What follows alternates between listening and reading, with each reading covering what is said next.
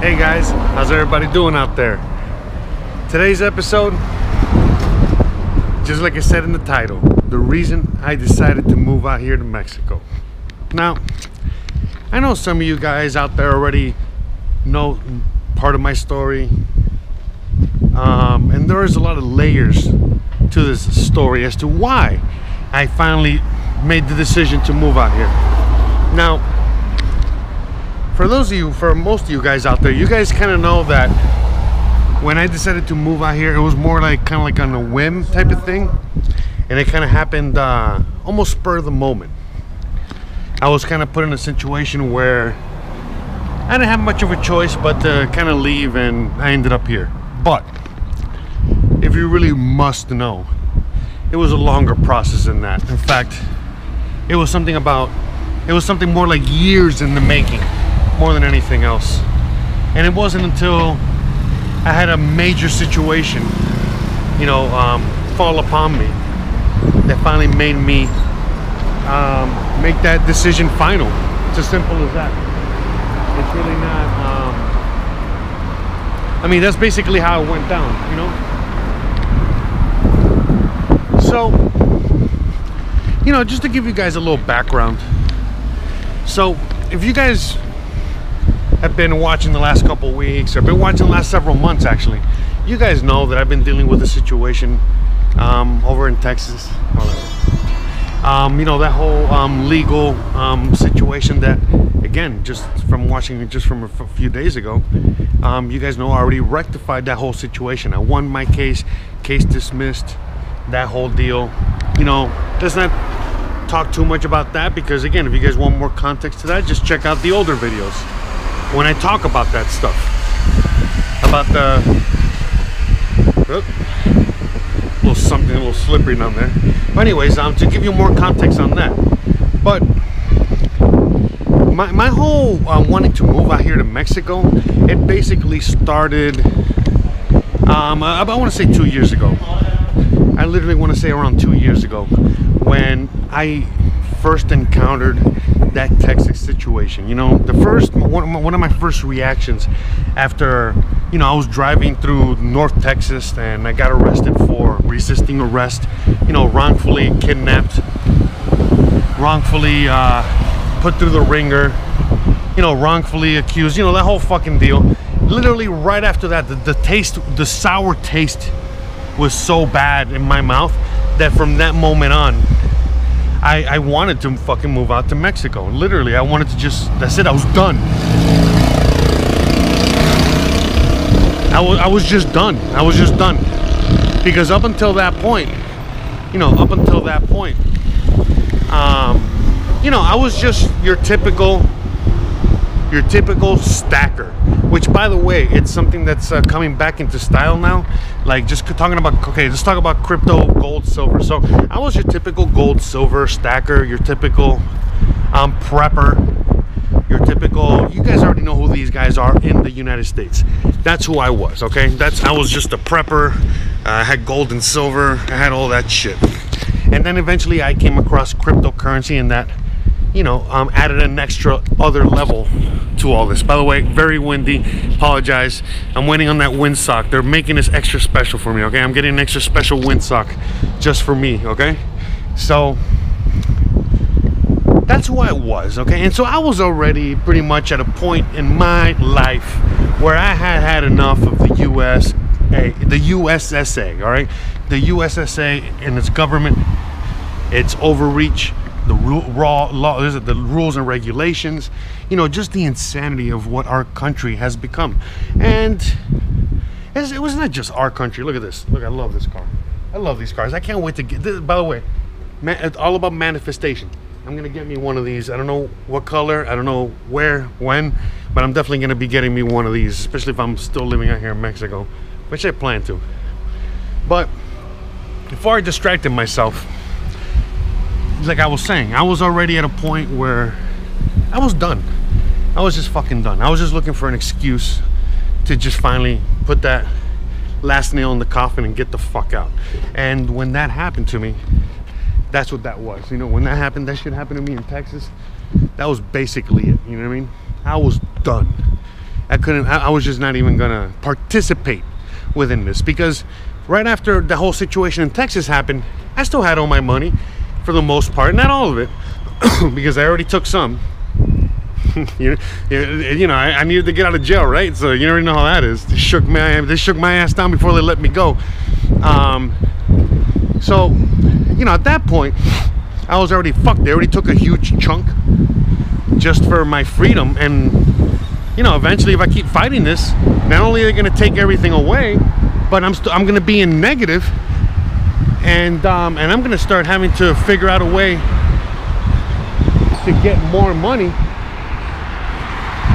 in order to pay for this shit. All right, look at all this traffic. A lot of traffic. A lot of traffic today. Hot. Anyways, so I already knew. I already knew that this shit was gonna cost me an arm and a leg. And that even though I had the financial situation to take care of it, I knew that this was gonna take its toll and it was gonna, it, whatever I had wasn't enough. And sure enough, that was exactly how it turned out. But before I made the decision to stay, my first decision was to get the fuck out of Dodge. Like literally. I was like, you know what? Fuck this shit. I already know what the fuck is going down. You know, me and my paranoid ass. You know, the US is going down. The dollar's going down. The whole fucking thing is going down. I don't want to fucking be here anyway. There's a blessing this guy's. Let me get the fuck out. And that was literally the plan. I was literally already just like, fuck it, let me get the fuck out. And uh, I'll deal with it later or, or never. And the reason I didn't leave was literally because all my friends, all my friends, all my family, all of it. I'm telling you, you know what I mean? The ones that were telling me to go, didn't have my, they didn't have um, the right interest in my mind, even though I thought that they did at the moment. And in fact, it was the other way around. Literally everyone that told me to stay had their, you know, my interest in mind. You know, my they, they were telling me the right thing to do, and uh, and I stayed. I literally stayed in the U.S. and I and I fought that shit. I paid it all off. Again, I just finished paying it off the other day, as you guys already know. And it was a long ass and horrible, horrible, horrible experience and horrible journey. And uh, literally, all the way up through all the way through it i was like telling myself especially towards the end you know once already i already exhausted all my funds and i was back in the workforce working like a fucking slave just making pennies a day. And um, the only the only happiness i found was when i would make these videos every day in los angeles and that shit. And it, it was just kept getting worse you know? So i was already at a point where again, I, I, was only like a few steps away from living on the street because of this whole situation in Texas. So when it came, you know, I want to say about a year ago, a little over a year ago, or about a year ago, a year ago, literally a year ago, um, my roommates told me, like a, a year and a month ago, whatever, some shit like that. My roommates told me, hey, um, we, we're all going back to Alabama, Mississippi, wherever the fuck, Louisiana, wherever the fuck we came from. And um, yeah so you need to find a new place to live because I was again I was living in LA the only way to really live in LA is with like 100 roommates. You already know the deal. So I was like oh shit what am I gonna do? So I just started looking for a place. I could not find the fucking place. And then I was like you know what? Let me see because again I want I want I was already at a point where I was beyond drained mentally and I said to myself again, look at the situation that I'm in right now. I can't even find a place to live. I'm gonna have to no I have no other choice but to either leave LA, which wasn't really a plan. I really didn't have resources to do that, or B, live out of my fucking car and hope for the best. And all the while, all the while while this is going on, I still had to figure out a way to keep making ends meet. I still had to figure out a way to call my bonds lady every week and I just call her ass but make sure that I had my money. And if you guys know the laws and you guys know what's up if I remained within the US if they woke up one morning and they woke up with the wrong attitude they could send fucking dog the bounty hunter after my ass. Or if I didn't comply with them you know with their insane um, demands, they could just send Dog the Bounty Hunter after me. And then all the hard work, all the money, all the everything that I put into that would, would have been gone. And that was like a major thing. In fact, I was scared all the time. And so while I was kind of making enough money and kind of having my head above water, um, I was like, well, you know, I can kind of, I know I can keep them at bay with money. But the minute that the money flow was kind of starting to come in negative, I was like, man, I'm not going to be able to keep them at bay anymore because any little misstep and I'm off. I'm off to jail for God knows how fucking long. I'm, you know, definitely um, throwing away, you know, in, in one of those cells that they're throwing away the key and you probably never see me again. And I know it sounds kind of crazy, but for a lot of people out there that know exactly what the fuck is going on, it's not crazy at all. You guys, we see this shit every day. So that was my major, major fucking concern. So, by the way, look, see, wheelchair accessible. It is wheelchair accessible out here. Some, some, uh, some of you guys were asking me a little bit. Um, but anyways, so as I was saying, I had a choice. I had a choice to make. And so my choice was to, you know what? Let me get the fuck out of Dodge now. I didn't get out of Dodge at first because, by the way, yeah, let's go back to that real quick. So during that time, I was struggling with the fact of like, damn, should I leave? Should I not leave? You know, this two years ago. And I decided to stay in order to fight it. Thank God I stayed because if I would not have stayed, that situation would have gotten definitely out of hand and um, it would have um, it would have um, not allowed me to travel freely not allowed me to travel freely with my passport not allowed me to go back into the US you know warrant out for my arrest you know federal you know like uh, Texas federal crime you know just so many horrible horrible things as if I would have uh, you know committed murder or if I would have fucking stole millions, you know, just some fucking horrible, insane crime. Which again, all this was just because again, um, I resisted arrest. You know, all I did was ask them, why are you arresting me? And that's it. That was grounds for them to ruin my fucking life. Just so you guys know. Again, I know I gotta re repeat that as many times as humanly possible because it's just uh, still insane to me. And then how most people out there, they, they don't see anything wrong with it. But anyway, so at that point, I was already, you know, starting to get hassled by them. You know, this and I we're going back to a year later.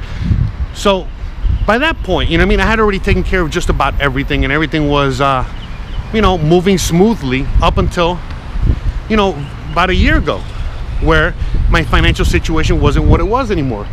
And at that point, um, as I was struggling, they were kindly letting me know, hey, you better get your shit on point or we're gonna fucking come after your ass and we're gonna fucking put you away for a long time. So I was like, fuck this shit. So that with, okay, so then when all of a sudden my roommates told me, hey, you gotta find a new place to live. My financial situation wasn't what it was. You know, the whole, um, you know, the whole other situation in Texas was just getting way out of hand, especially just because I didn't have the funds for that. I was like, man, I don't, I don't really have much of a choice here. I mean, even if I were to stay in the States, you know, again, any day I could literally wake up or get stopped for a traffic ticket or whatever, and I'm gone. I mean, they're taking my ass shit back. They're taking my ass back to Texas, and uh, it's over. So I was like, bro, get the fuck out of here with that shit. So, hey guys, sorry about that. Way too hot, way too humid out here. Camera turned off. You already know the drill. But as I was saying, as I was telling you about my story, um, you know, when I started realizing all that, you know I mean, that I was literally, my back was up against the wall. I didn't have a choice. I was like, you know what? I, I know I, have already done a lot of homework in, in the year prior and then some about moving abroad, moving to Mexico, because again, just in case, you know, I already knew that worst case scenario, I could always leave the country and I would be safe. So that's what I decided to do. And, um, you know, I'm just giving you the, the short version here. So I decided to fuck it. I packed up all my shit and uh, within a two week time span, I figured out how to you know, move out here. I found the place and the, the whole deal. And then it was, uh, you know, it was just very quickly how I ended up out here. Now, once I got out here, it was a little difficult for me to, you know, make phone calls and, and do certain things right off the bat because, again, I'm in a new country. Things were very different. You know, I eventually figured everything out. You know, and hence I've made videos about a lot of these things and so on and so forth. But, um, one of the you know one of the things that i really realized you know as soon as i got out here and i had to call my bonds lady the first time and i was calling from here and they realized i was calling from here. Holy shit were they pissed. And then when they were pissed and then they were fucking you know like demanding all this shit and telling me i had to be here and all this other crap i'm gonna see if i can run across. I was telling them. All right hold on a second. I was telling them hey you know, fuck you, you know, part of my friends, but I was telling them to go fuck themselves. You know, I'm in another country now, and now the cards are on my table. Now I have the fucking power, and they better fucking, you know, uh, um, know their fucking place, or they're never gonna fucking hear from me again. And then all of a sudden, things switched because they knew. They knew that at the end of the day, all they wanted was my fucking money more than anything else. And um, that I all of a sudden I had the power. So either A, you know, they had to listen to me now and we were on my terms so that I can pay that shit off and I can get my dismissal and get on my paperwork. Or B, they're just never gonna fucking hear from me ever again and they're not gonna get any more money or any more anything from me.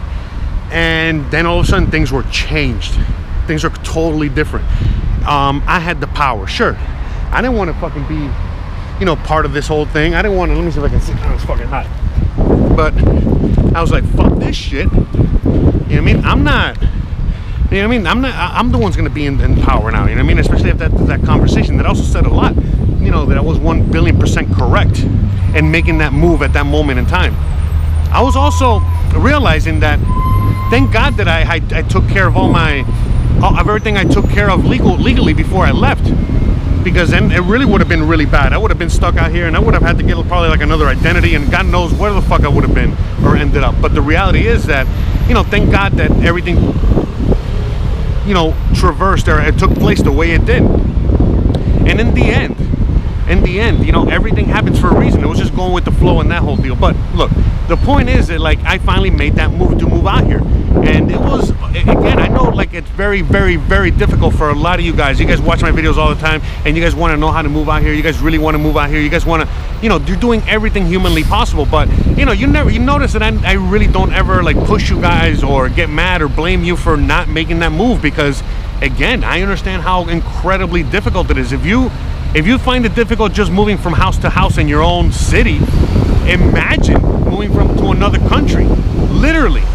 Another language, another all, kinds of customs, the whole nine, you know, all that shit. So I totally get it. To me, it was just either that or else you know, I was gonna have a, a, big culture change regardless, you know, whether I was gonna live out here in Mexico or live on the streets in Skid Row. It didn't matter, but something was gonna fucking happen. And so I was just telling myself, you know what? I have the power. I can make the decision. I can fucking choose where I wanna go and end up and all that. And I said, you know what? I think I'm gonna, I can do a lot better out here. I think that, you know, my, it's just everything will be better out here. And God damn, God, gosh darn it, you know? Sure enough, sure enough, you know what I mean? the best, one of the best, if not the best decision I've ever made in my whole entire life was moving out here.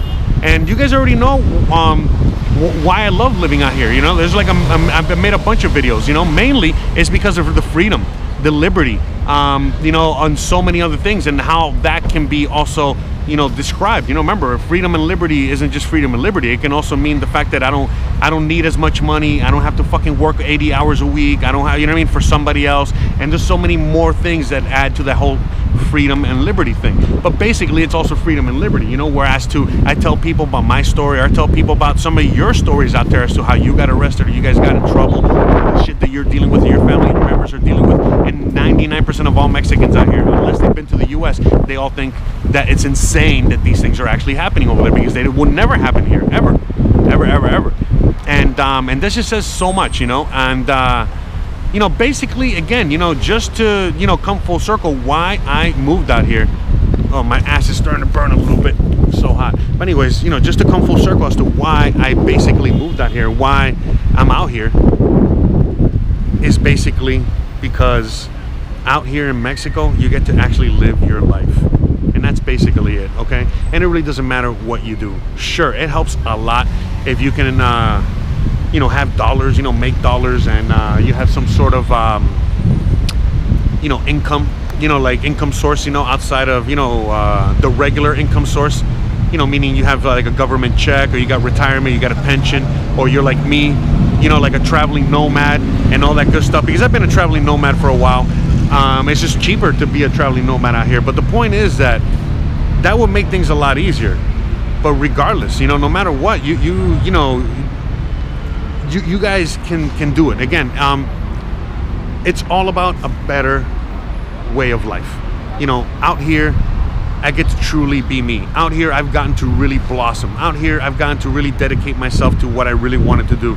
Out here, I've gotten to like enjoy life to its fullest. Out here, I've been more at peace than I've ever been. Out here, I mean, again, you know, I can I can continuously talk about all the positives of being out here, moving out here, and um, they're all totally worth it, man. They really are totally worth it, and uh, and everything happened because of uh, how it happened. It was just um, it's really hard to kind of you know, looking back at the whole situation, it's like, wow, how the fuck did I really end up out here? But it was all like um, a course of events. It was just like uh, many, many, many, many, many things that led me to.